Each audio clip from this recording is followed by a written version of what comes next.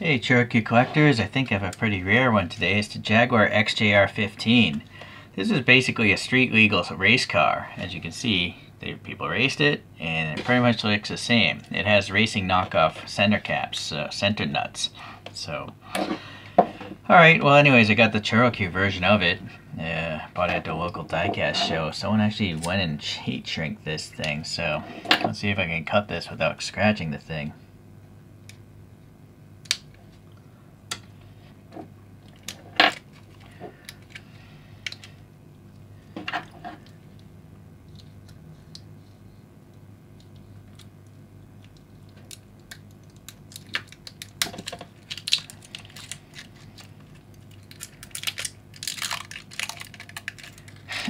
Can't believe someone went through that effort.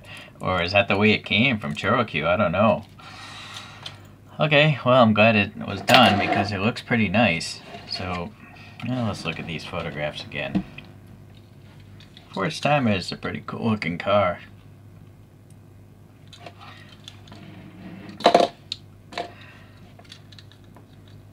Huge vent there on the lower side. Yeah, not much of a rear angle. So we have a nice metallic green and uh, that's the indication of that huge vent but here is just a tiny little dent. Nice thin panel gaps here for the door cuts and stuff. This is an older one so it actually has the Dunlop molded into the tire. These are just standard Fastworks by Churro though. Nice deep vents but no additional paint sadly. And same with the turn signals. And then it's just got a goofy uh, sticker. Uh, say sport type, I think, not prototype. No, it says Sport V12 XJR. Okay. I think the canopy is just I don't know. No, it is I think it's darkly smoked. I can I think I can see the motor gear right there. Alright, nice venting here. I'm gonna assume these might be fuel fillers. And then you got a gold black sticker ChoroQ up there. This side here is a little, this is where it was torn off the mold. The tires are still nice. The tires are still rubbery. I don't know what that's all about. That's pretty lame. Uh, and then it's got four exhaust pipes, which is cool. But uh, no paint. And sadly, no paint on the tail lights either. At least it tells you what the car is, and it's number 8 in some sort of collection. The rear wing seems to be separate. I wouldn't, it says HG06, high grade 06. I wouldn't be surprised if there's something underneath this sticker. Yeah, we're gonna find out because I gotta take it apart. Wait. I feel like I can feel some lettering there. Yeah. Yeah, duh. So I don't know why that sticker was there. This is number 6 XJR there.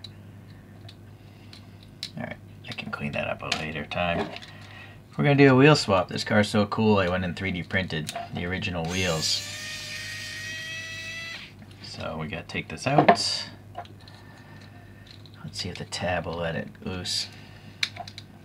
No, I don't think so.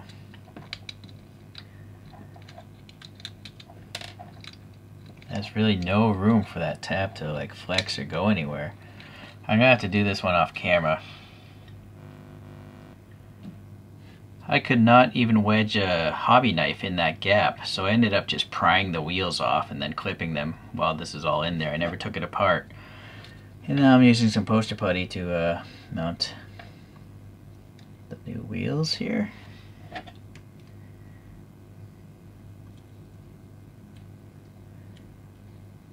Yeah, there we go. And then I got blue on this side like the photograph.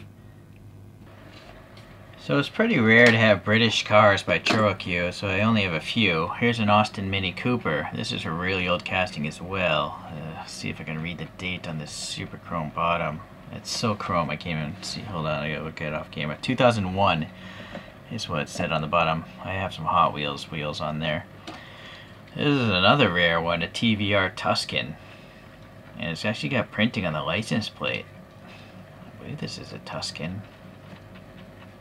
It's hard to read the clear base. I don't think it says. It just says TVR there.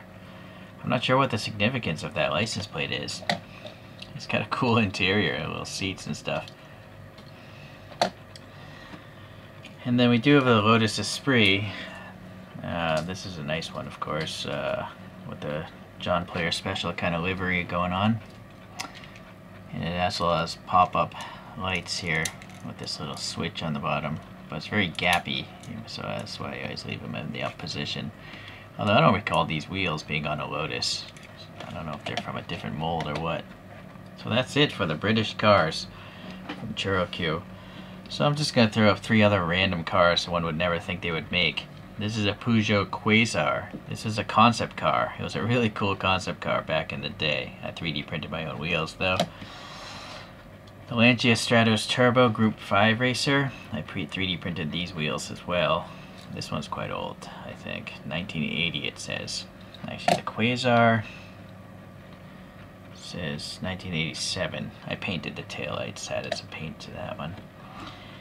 And then Porsches are common, but not, not a 924 Turbo. So this is from 2001. So some British and some weird random castings, which is cool. You know, I like that ChoroQ will go down these random, random castings, right? So it's nice. So today is pretty good. I mean, for its time, I think it's a pretty good toy. By today's standards, it's not so good at all, but uh, I can account for the age of it. And someone was nice enough to heat shrink the thing and keep it in pristine condition. So that's Fat Tony from The Simpsons. I downloaded a free print file.